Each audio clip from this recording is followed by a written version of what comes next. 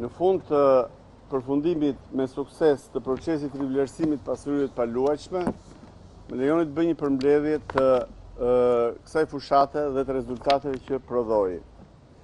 Në datë 2 gusht përfundoi afati kur kadastra shqiptare mund të kryente proceset e fundit të rivlerësimit, afati i përllogaritjes dhe i dhënies shërbimit, ndërkohë në datën tridhjetë prill kishte mbaruar afati i kur vetë qytetarët mund të aplikonin.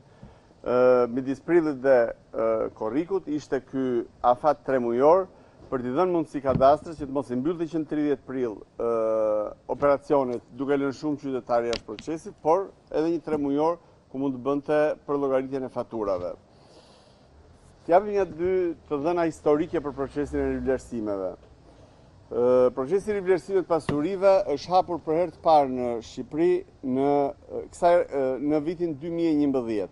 Por procesi aktual filloi në shkurt të vitit 2020 dhe u zgjat për dy vjet sepse u zgjat dy herë brenda këtij afati me ligje të veçanta për një arsye shumë të thjeshtë.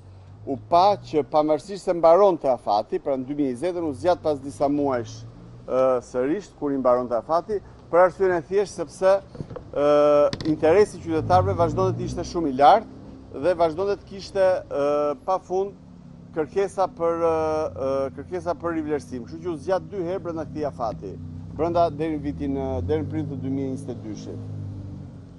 Siç thashë, për herë të parë në Shqipëri procesi i rivlerësimit pasurive të paluajtshme është bërë në vitin 2011 dhe në atë kohë taksa e taksa e rivlerësimit ka qenë 1%.